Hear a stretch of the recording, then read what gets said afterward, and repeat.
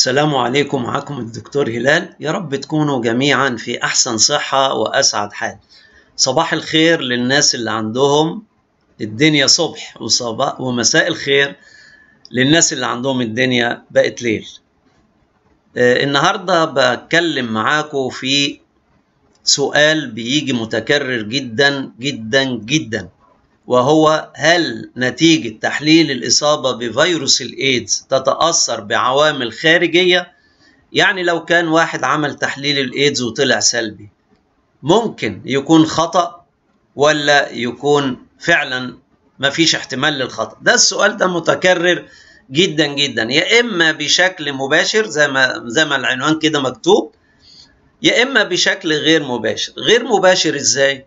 بيجي يعني الواحد اللي يجي يقول لي أنا عملت التحليل وعدته خمس مرات تفتكروا بيعيدوا ليه؟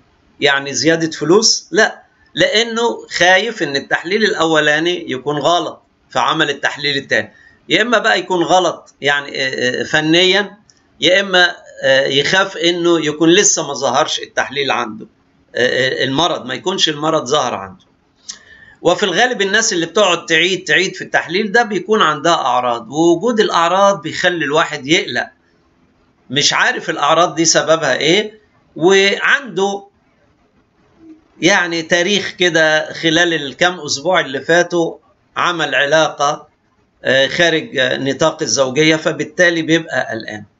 فاذا هذا السؤال من الأسئلة المتكررة جدا جدا ومضمون السؤال إيه؟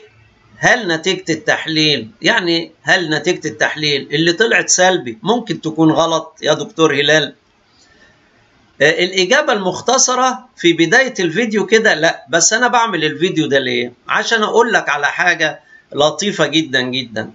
أنت بدل ما تبقى يعني قلقان وتبعت سؤال للدكتور هلال ويرد عليك بعد أسبوع والدكتور فلان الفلاني وما يردش عليك طب انت في شيء سهل جدا جدا إنك تعمله. السؤال ده روح حطه على جوجل. ماشي؟ هتحطه على جوجل وكل الناس دلوقتي متهيألي عارفة يعني إيه البحث عن طريق جوجل أو عن طريق وسيلة أخرى غير جوجل. هتحطه على جوجل بهذا الشكل.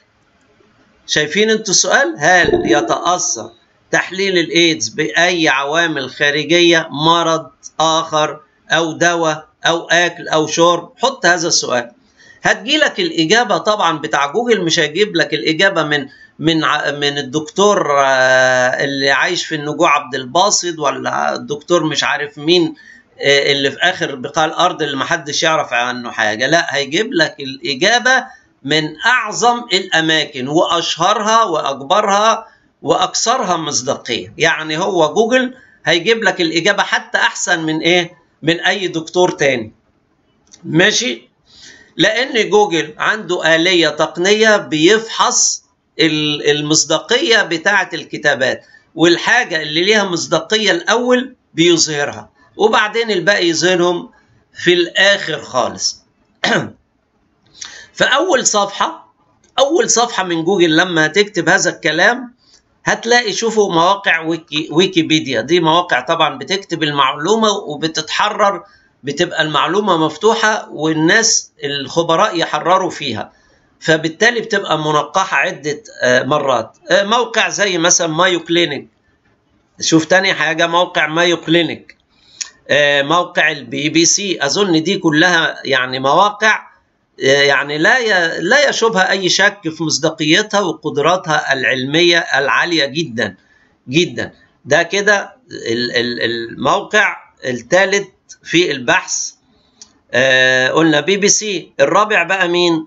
واحد يقول لك طيب يا دكتور هلال أنا عايز أعرف النتيجة منك أعرف منك النتيجة. ما تقلقش برضه هتلاقيني لما تكتب البحث في جوجل هتلاقيني برضو إن شاء الله موجود. نتيجة الجهد الشديد جدا وحرصي الشديد في إن أنا أما بكتب مقال بتكون المقال فعلا زي ما بيقولوا كده يونيك في محتواها. لا لا لا بستخدم مثلا كتابة إنجليزي وبترجمها ولا فقرات بجمعها من هنا وهنا. إنما اللي بيحصل إيه؟ إن أنا لما باجي أكتب المقال ماشي أنا طبعا عندي معلومات الطبية. مش بروح كاتبها من معلوماتي اللي في مخي فقط لا غير لا.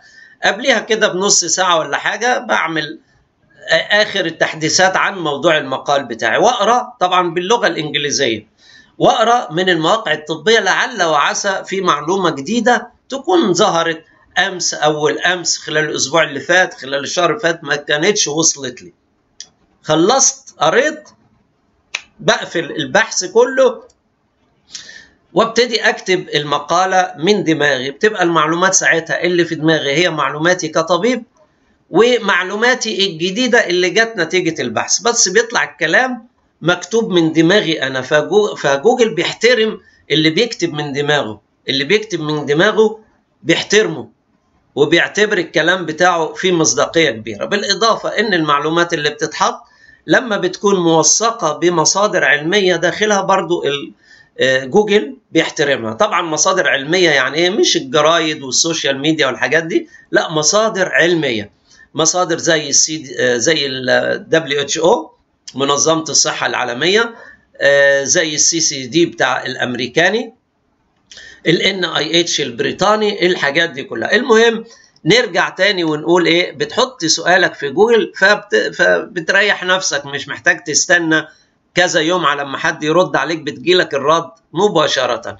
آه شوفوا بقى عايز بقى واحد يقول لك أصل أنا عايز أسمع الايه أو أعرف النتيجة منك. ما تقلقش.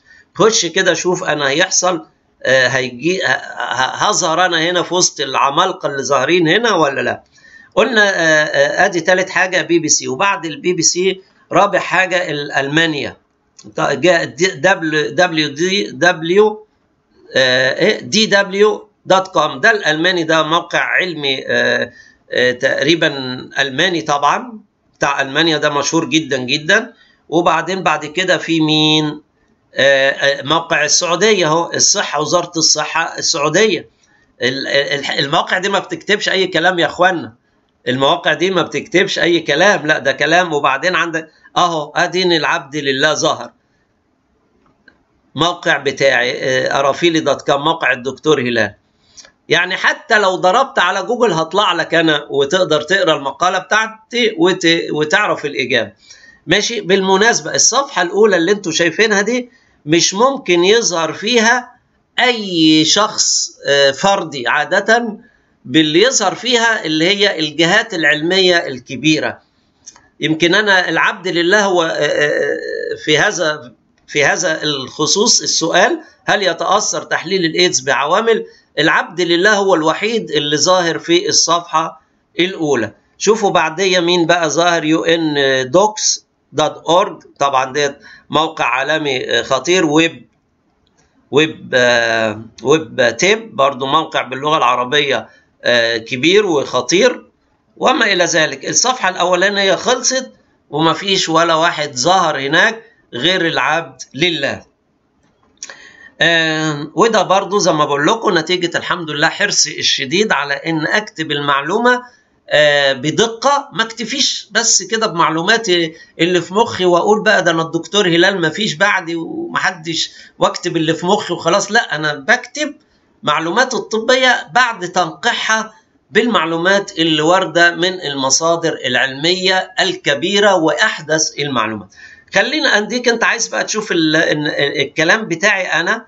برضو قبل ما تتواصل بيا مباشرة اتفضل حضرتك أنقر على جوجل أهو تحليل الإصابة بفيروس الإيدز ومتى يكون مؤكدا وقطعيا. ماشي.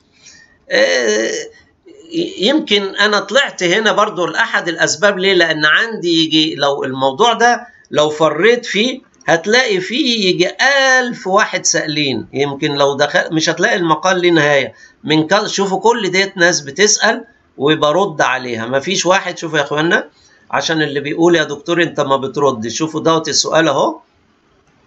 آه ده التشات اللي بيظهر قصادك ده. لو عايز تبعت الرسالة بالتشات ولا وإني أنا بفضل إن أنت تبعتها على الموقع تحت الموضوع المناسب أحسن. آه شوفوا يا إخوانا ده كده سؤال هتلاقي تحتيه على طول الرد. طبعا السؤال أنا صورتي بتطلع لأن أنا مش يعني معروف و وحاطط صورتي وكل حاجة. إنما الناس طبعا اللي بتسأل عن الإيدز كلها إيه؟ بتستخبى. أدي واحد سائر مرتين ثلاثة أهو ورديت عليه. طبعا هو عايز ما فيش حد هنا بيحط صورته والحاجات دي. كل الناس بتعتبر إنه سؤال على الإيدز حتى من باب الاستسمو... الاستفسار عار وما حد ليه بقى؟ ليه هو عار؟ أنا معاك إن هو عار لأن حديثا زمان ما كانش بصراحة زمان كان في ناس مظلومة. كان ممكن يجي له عن إبرة متلوثة ملوثة بالدم أو يجي له عن نقل دم ملوث أو يجي له عن طريق والدته برضه اتلوثت بالخطأ. كل هذا الكلام في ناس مظلومة زمان لكن الأيام دي ما أظنش. 99% من المصابين بالإيدز حاليا خلال مثلا الخمس سنين العشر سنين أو الخمس سنين اللي فاتوا 99% ونقول 8 من 10 منهم أصيبوا عن طريق الممارسة الجنسية. يا إما الشاذه الشاذه ثم الشاذه ثم الشاذة ثلاث مرات بعيدها. ثم خارج نطاق الجنسية. خارج نطاق الجنسية مين هم؟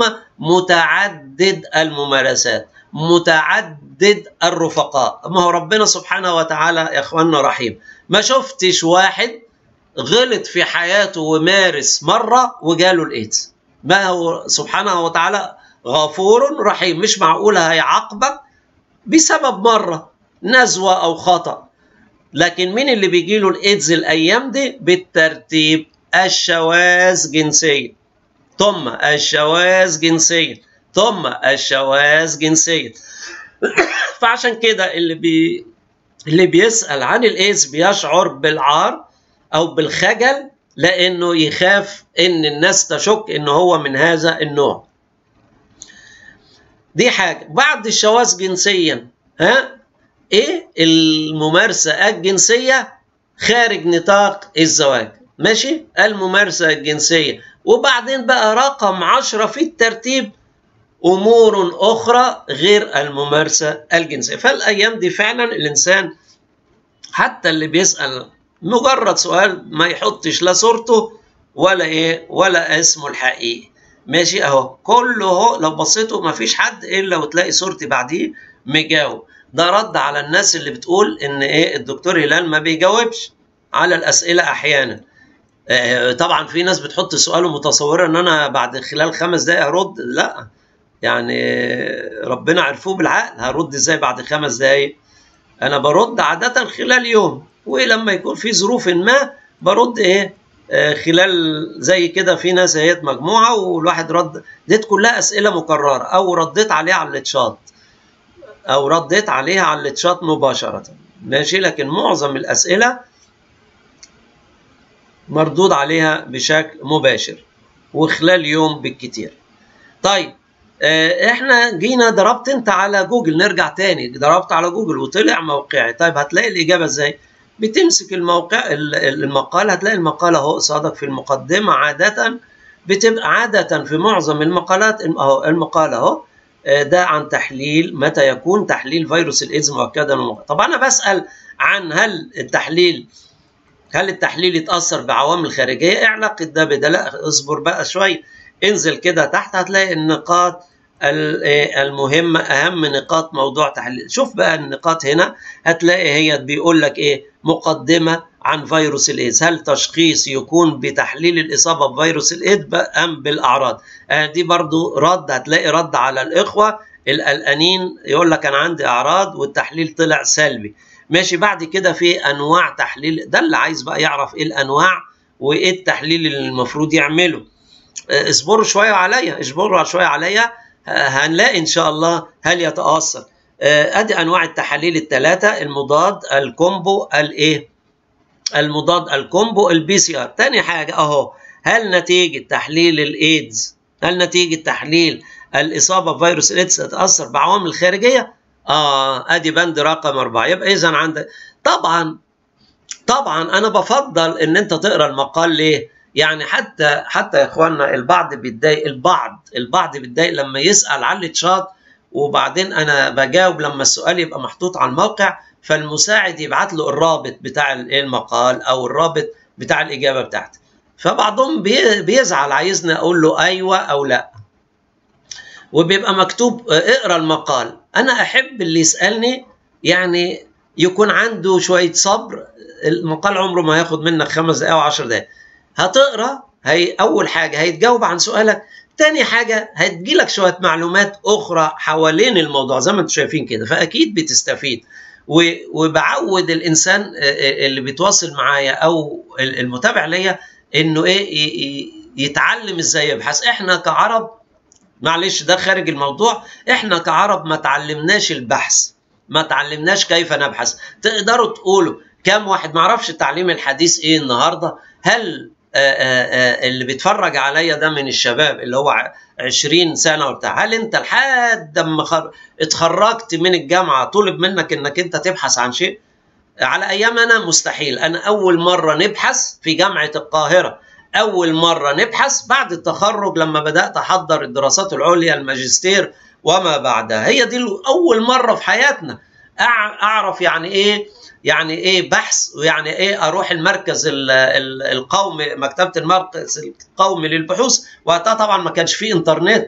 ده إحنا أنا بتكلم على سنة 80 81 82 كنا يا حول الله نروح مكتب بعد ال... عشان كده بعد الايه بعد البكالوريوس لما بنعمل دراسات عليا. واللي بيعمل دبلوم مش ماجستير وما زالت برضه ما بيبحث بيقرأ ويروح يمتحن. اللي بيبحث فقط هم اللي بيعمل ماجستير ودكتوراه وبعد كده يبقى أستاذ جامعة. فيما عدا ذلك ما تعلمناش البحث. فبقول لكم أيامنا آه كنت أروح المركز البحث آه القومي للبحوث مكتبته اللي في الدقي بالنسبة للناس اللي عايشين في مصر. وكنت أروح آه المكتبة البريطانية. وكنت أروح المكتبة الأمريكية. ومركز تاني نسيت اسمه في مدينة نصر. عشان أجمع المعلومات اللي مطلوبة في البحث أو الدراسة بتاعتي.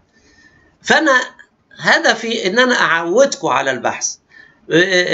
مقارنة بقى بالدول اللي بتهتم شوية بأسلوب التعليم الطفل من ابتدائي بيعلموه على البحث. بيعلموه على البحث. لا إيه يعني أنا عندي هنا من ان أنا مش في دولة يعني مش عايش في دولة لكنها بتتبع الأسلوب الأوروبي والأمريكي. الطالب من ابتدائي التلميذ من ابتدائي كل أسبوع أو أسبوعين عنده حاجة اسمها project ال project ده عبارة عن إيه؟ إنه يعمل مشروع. يقول لك كون دايرة كهربية اعمل آآ آآ اعمل مشروع زراعة نبتة معينة شوف هيحصل إيه. فتلاقي الطفل عندنا بيدوخ أهله كل إيه؟ أسبوع عايز يشتري مواد عشان يعمل المشروع بتاعه. وبعدين ممكن يقول له ابحث لنا في كذا اكتب لنا موضوع عن كذا واذكر المصادر اللي بحثت فيها أما بيكبر بعد كده شوية. يعني بتوصل لثانوي بتكون عملت لك يجي 200 بحث. ماشي؟ على ما بتوصل الجامعة يعني بتبقى خلاص اتعودت إن أي سؤال في مخك على طول طخ تروح ضارب على البحث. ده الأسلوب التعليمي الصح. عشان إحنا عندنا ما زلنا أو كتير مننا منتقص هذا الشيء فأنا بحب اعودكم على البحث. معلش ده خارج الموضوع. محدش يقول الدكتور هلال بيتكلم كتير. معلش اصبروا عليا شوية. عجوز والعواجيز بيحبوا يتكلموا كتير. ماشي يا إخوانا؟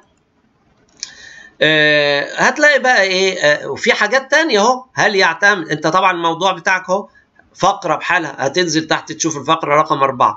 آه هل يعتمد على تحليل آه بنك الدم؟ ده برضو آه رد على بعض الناس. عمل رحت اتبرعت بالدم وطلع التحليل بتاعي سليم. هل أعتمد عليه؟ تعتمد عليه إن شاء الله بس طبعا في شروط. آه وبعدين ده برضو كان واحد عن المصريين فحطيت له الفقرة ده بيسأل فين يعمل فحص وفين يتابع ودي في آخر كل موضوع بحط المصطلحات الطبية. ليه؟ لأن اللغة العربية بصراحة بالرغم إنها لغة غنية ولكن ما فيش كل حاجة باللغة العربية.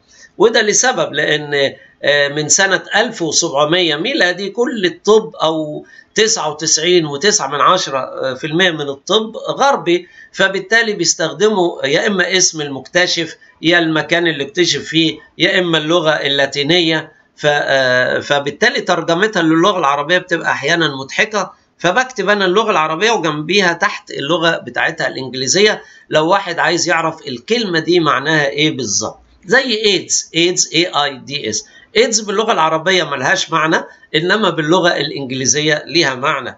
A I D AIDS acquired immunodeficiency syndrome.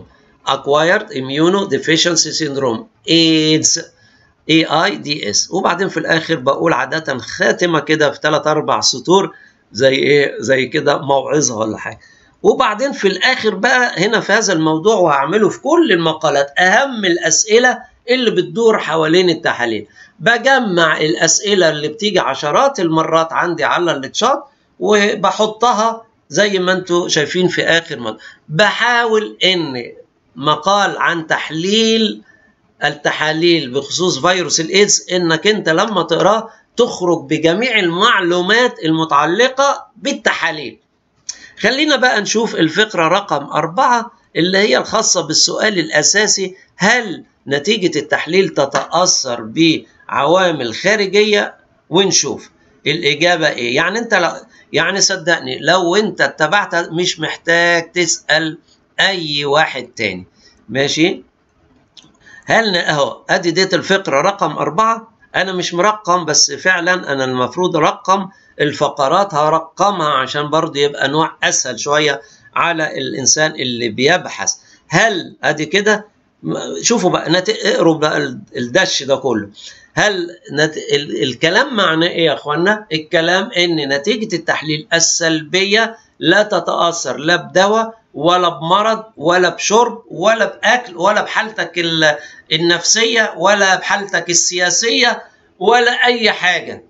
سلبي بتتأثر بحاجة واحدة فقط لا غير إنك أنت تكون عملتها في الميعاد المناسب. يعني إيه؟ يعني بالنسبة للمضاد بعد 90 يوم من احتمال العدوى، بالنسبة لل combo بعد أربع أسابيع، يعني نقول من ثلاث أسابيع لأربع أسابيع، بالنسبة لل PCR بعد حوالي 10 أيام. طبعا واحد يقول لك يا دكتور أنت مرة تقول 10 أيام ومرة تكون أسبوعين يا حبيبي إحنا يا أستاذي الفاضل انت راجل يعني أنا عايز اوجه نظرك حضرتك واوجه نظر حضرتك وحضرتي ان الطب ما فيهوش معلومات مطلقة. ما فيهوش معلومات مطلقة. الطب ده إحنا بشر ما فيش حاجة مش واحد واحد زائد واحد تساوي اتنين ما فيش في الطب كده ماشي؟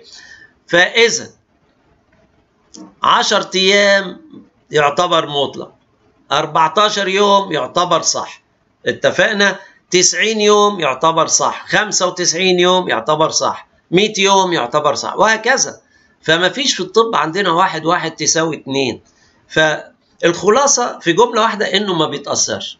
واحد بقى تكون طخت في دماغه وقعد يبحث يبحث ولقى في بعض الحالات النادرة جدا. مش مش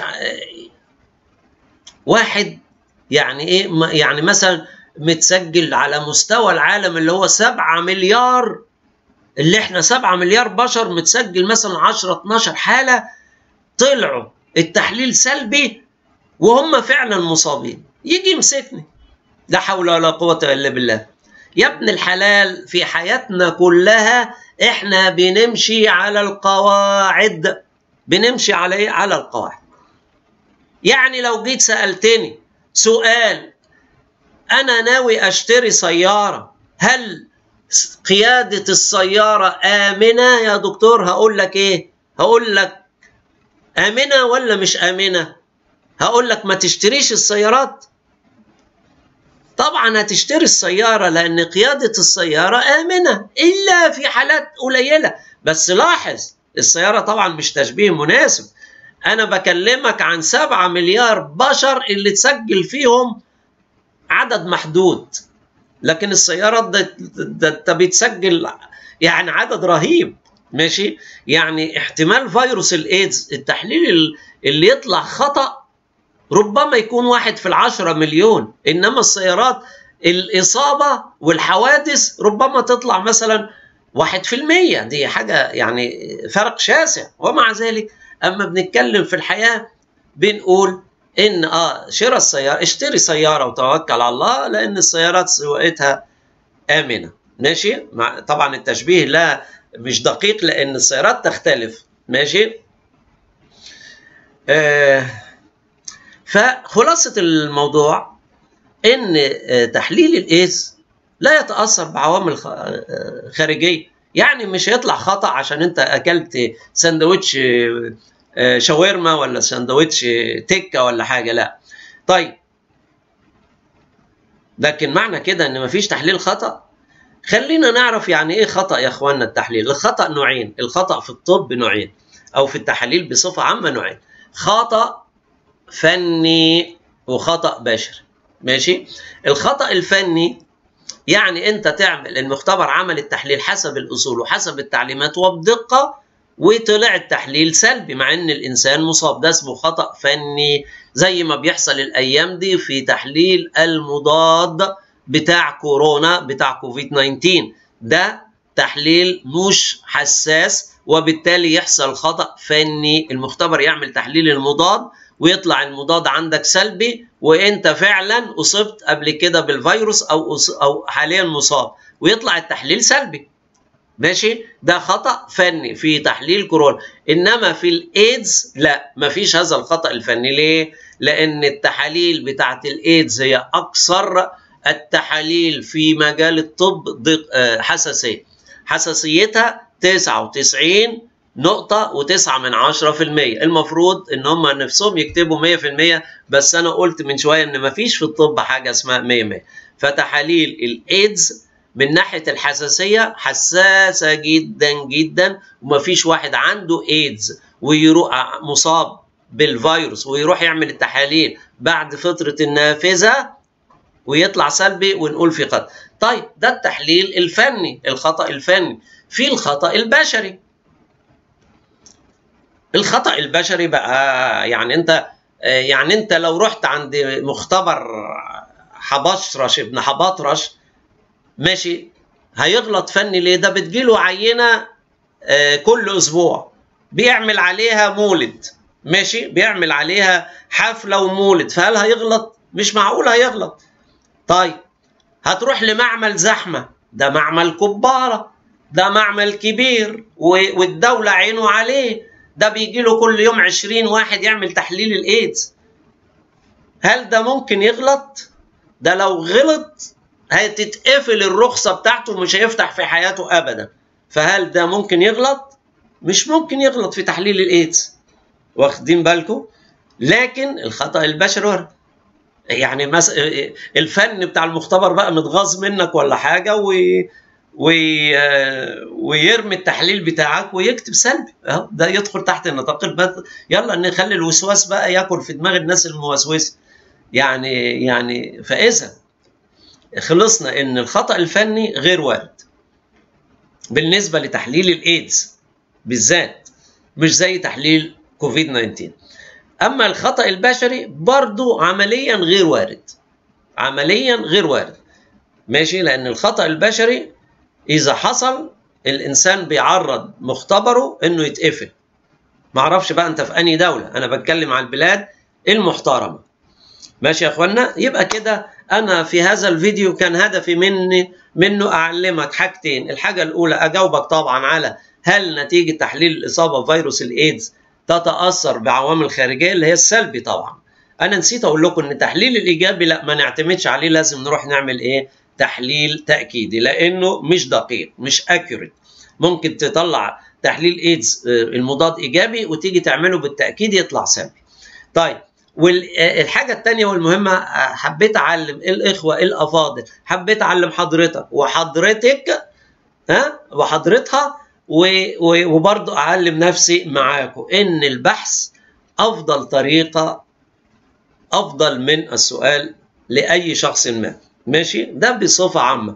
ولو إن في النهاية يسعدني طبعا إن أي واحد يسألني وإذا بحثت وما لقيتش الإجابة أهلا بك وفعلا اتفضل حضرتك شايفين أنتوا كده الكورة الزرقاء دي بتضغط عليها بيطلع لك كده أيوه بيطلع لك تشات بوكس حط سؤالك هنا. بس رجاء عشان تحط سؤالك إحنا مشتريين هذا التشات. أنا مش مبرمج ولا عندي مبرمجين. أنا يعني دكتور على قد حالي شخصي الحمد لله رب العالمين يعني بس في النهاية أعتبر شخصي شخص ولست شركة عملاقة. زي الشركات اللي بتجيب مبرمجين وبتاع. فأنا شاري هذا شاري هذا عشان إيه؟ تحط سؤالك. السؤال بتاعك لما بيتحط بيتحذف عندي على الموقع. بس عشان يتحذف على الموقع بيبقى الشركة مصممة بحيث إن أنت لازم تكتب الإيميل بتاعك. لو ما كتبتش الإيميل بتاعك بيتنتوا السؤال مدفون هنا في التشات وأنا ما أعرفش عنه حاجة. ماشي يا إخوانا؟ أو يتحذف بعد كده بأسبوع ولا اتنين لما أنت تحط الإيميل ف...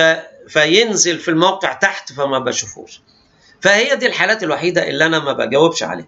ماشي؟ ولو أنت عايز تختصر الموضوع على طول بتجري على الموقع زي ما حضرتك شايف وتشوف الموضوع المناسب ليك. هتلاقي كده مكتوب عندك عربي وشوف كده إيه محتويات الموقع. هتلاقي محتويات الموقع طلعت عندك الأمراض الفيروسية صحة الرجل وأمراض الذكورة.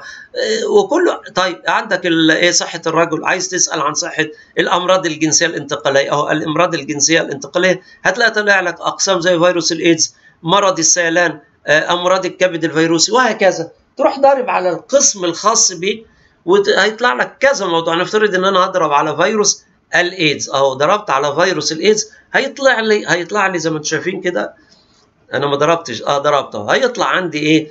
آدي المواضيع الخاصة بفيروس الإيدز. هتلاقي كذا موضوع عندي. هل يوجد علاج للإيدز؟ آه طبعا مترتبة حسب تاريخ صدورها أو نشرها. كذا موضوع. شوف الموضوع المناسب اللي عندك المناسب ليك وتفضل اقرأ افتحه واقرأ ما هو تحليل الإيدز بالمنزل. الناس اللي بتسألني تحليل الإيدز بالمنزل. وهكذا.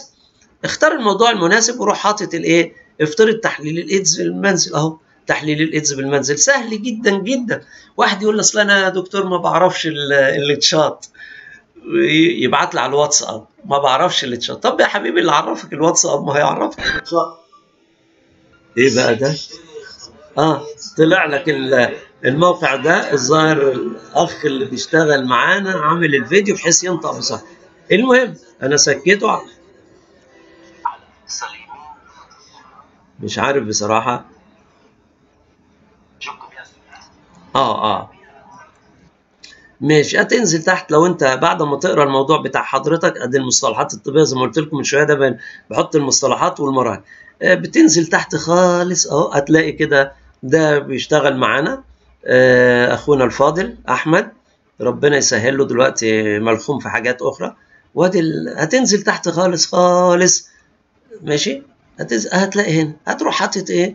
السؤال بتاع حضرتك. هيقول لك لازم حكاية الايدز دي. أنا مش بصراحة مش WordPress هو WordPress اللي عامل. هتلاقي نفسك هتحط ده السؤال هيقول لك آه طبعا أنا عشان معروف ومتسجل في الموقع فما بيقوليش إيه الإيميل بتاعك.